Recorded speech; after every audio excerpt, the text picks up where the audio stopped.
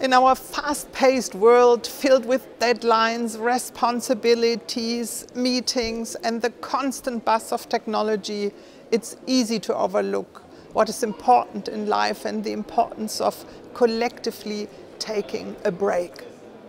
Already the Roman Emperor Constantine recognized the special importance of a common day off and introduced the work-free Sunday.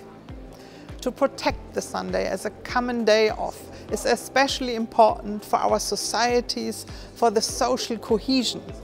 It is particular importance since we do not just need free time, yes, we need to recharge our batteries and uh, do other tasks.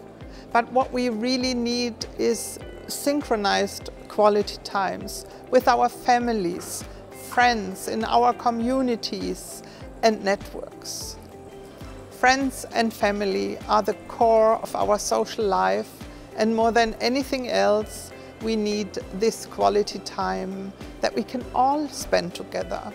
This is why I'm happily supporting the European Sunday Alliance in our fight for this crucial achievement. The European Day for Free Work-Free Sunday reminds us of the need to take collective breaks and thereby create spaces where we all can come together.